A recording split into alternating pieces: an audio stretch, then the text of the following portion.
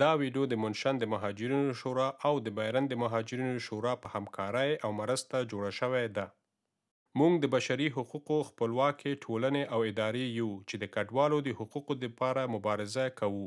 په خاصه توګه دا ډیره ضروري ده چې مهاجرین لۀ خپلو حقوقو څخه باخبره اوسي نو په همدې اساس مونږ دغه ویډوګانې ترتیب کړي. کړنلاره، لومړی کار چې تاسو باید ترسره کړئ هغه د پناه غوښتنې لیک یا عریضه سپارل دی پولیسو ته یا د راتګ په مرکز کې، تاسو به د راتګ په مرکز کې د پناه غوښتونکي په توګه راجستر شئ. د یادونې وړ ده ټول هغه اسناد چې تاسو یې له ځان سره لرئ ډېر ارزښتناک دي تاسو باید د اسنادو کاپي یا عکس له ځان سره وساتئ.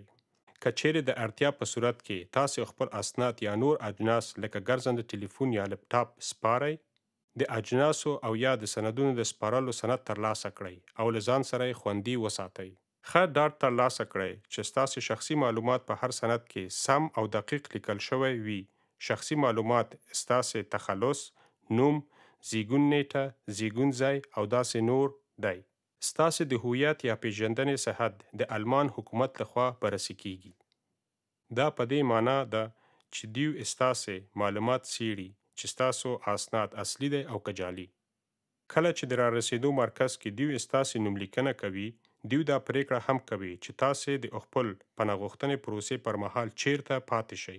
که چېرې غواړئ چې ستاسې د حالت اړوند ځینې شیان په پام کې ونیول شي، نو باید اخپل وړاندیز وړاندې کړئ. د مثال په توګه که تاسو ناروغ یاست، فزیکي یا رواني ستونزې لرئ او له دې امله نه شئ کولی په لوی کمپ کې ژوند وکړئ. که تاسې د اتلس کالو څخه کم عمر لرئ نو ووایاست، ځکه چې د اتلس کالو څخه کم عمر لرونکي اشخاص دلته د اضافي مرسته او ملاتړ څخه برخمن وي. همدارنګه که ستاسې کورنۍ یا خپلوان په آلمان کې اوسیږي نو هغوی ته ووایاست. ستاسې د نوملیکنې نه وروسته به ځینې مرکې ترسره شي. دغه مرکې ستاسو د پناه غوښتنې پروسې لپاره خورا مهمې دي. د مرکو نه مخکې باید په دې اړه له مشورتي مرکزونو څخه مشورې ترلاسه کړئ. تاسو باید هره ورځ په کمپ کې د معلوماتو بورډ او یا د مسؤلې ادارې څخه پوښتنه وکړئ چې تاسې ته نوی پوست او یا ایمیل راغلی او یا نه دی، ځکه چې ستاسو د مرکو وخت او نیټه د پوست له لارې تاسو ته دراستول کیږي. که تاسې د ناروغۍ له امله په مرکو کې برخه نه شئ اخیستلی، باید مرکه او یا انټرویو رد کړئ. نو بیا د ډاکټر څخه د ناروغۍ تصدیق ترلاسه کړئ. مرکې په دوه بېلابېلو حکومتي ادارو کې ترسره کېږي. فدرال دفتر، بانف، د مهاجرینو او کډوال اداره، د فدرال اداره غواړي په مرکه کې ستاسې د پېژندنې په اړه پوهاوي تر لاسه کړي چې تاسو څوک یاستې او ستاسو د هویت په اړه درڅخه وضاحت غواړي. تاسو څنګه او په کومه لاره آلمان ته راغلی یاست؟ بمف یا د مهاجرینو اداره په لومړی مرکه کې دا څرګندوي چې آلمان او یا کوم بل هېواد ستاسې د پناه غوښتنې پروسې مسؤل دي. په دوهمه مرکه کې بمف پلټنه کوي چې آیا تاسو به په المان کې محافظت ترلاسه کولی شئ او که نه. په بمف کې دوه مرکې ځینې وختونه په هماغه ورځ ترسره کېږي. بمف او یا د کډوالو اداره تاسې ته ستاسې د مرکې پایله یا ځواب د پوست له لارې تاسې ته در استوي. د لیک د لیک نیټه چې د پاکټ د پاسه لیکل شوی وي ډیر زیات مهم دی. ذکر شوی نیټه د ځان سره یاداشت او ولیکئ او یا هم د خط پاکټ له ځان سره وساتئ. لیک او همدارنګه د لیک پاکټ د ځان سره وساتئ. که چیرته ځواب مثبت ؤ نو تاسو په آلمان کې پاتې کیدلی شئ. که ځواب منفي ؤ نو تاسو کولی شئ په اداري محکمه ددې په وړاندې په محکمه کې شکایت وړاندې کړئ. د پناه غوښتنې د قانون یو متخصص وکیل پیدا کړئ. پریکړه منفي ده ځکه چې تاسو د ډبلین پروسیجر او یا کړنراره کې یاست.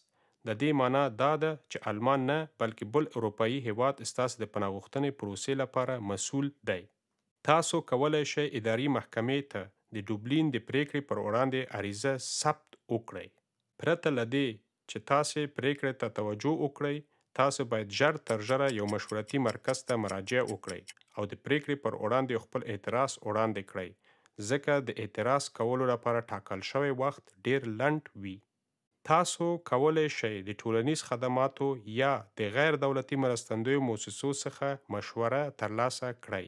تاسو کولی شئ چې د مشورې مرکزونو څخه وپوښتئ چې تاسې وکیل ته اړتیا لرئ او که نه.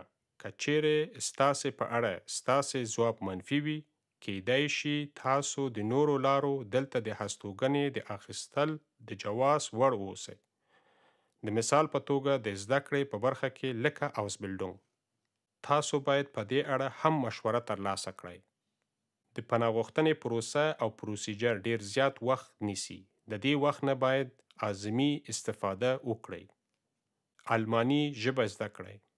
که امکان ولری ښونځی ته لاړ شی هڅه وکړی چی د کمپ څخه بهر د خلکو سره آشنایی حاصل کړی د یادونی وړ ده.